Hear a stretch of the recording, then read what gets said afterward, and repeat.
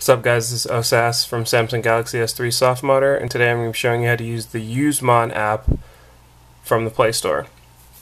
Um, what this app does is it, it monitors it monitors your system settings and then it gives it to you in graph form. So if you're instead of looking at a giant list of apps and what they're running and how much RAM it's using, this just gives you a, a pretty pretty big graph which you can see from the screenshot. So we're just going to install it. I've already installed it. We're going to hit open and it'll take you here and then already you can see CPU and it's showing me exactly what my CPU is doing in this in the graph form. And it'll load all the way through. We can go to frequency and there you have the megahertz gigahertz CPU 1 CPU 0 um, more info which you don't really need but if you wanted to you can check that out. Then here's the RAM.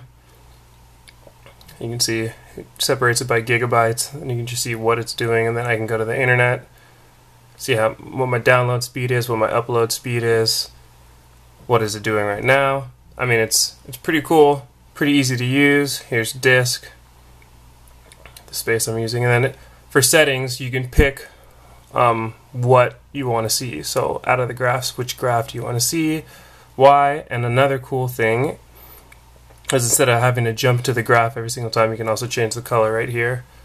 So I'll do that, and then we can go back.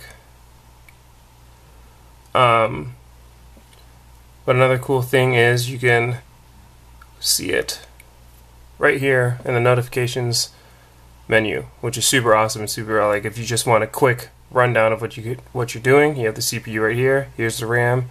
Here's the download and upload speed and the max kilobytes or whatever your internet is actually doing at the time. So it's super easy to use, really cool. You can obviously go here, you can click on battery. You can see, oh, whatever, this is doing this much, this is doing that much. On the application manager, you can go here and then go to running, and you can see that. But the list, it's kind of hard to, to tell what's doing what and how much CPU is using and all that stuff. So using UseMon is, I think, a lot simpler and cleaner and I just like graphs. So if you like graphs and you're a visual learner like me, you're going to want to download this app. It's free in the Play Store, so make sure to check it out. Um, that's really it. So make sure to comment, like, subscribe, and check out the full tutorial on Samsung Galaxy S3 Soft Modder. All right, thanks, guys.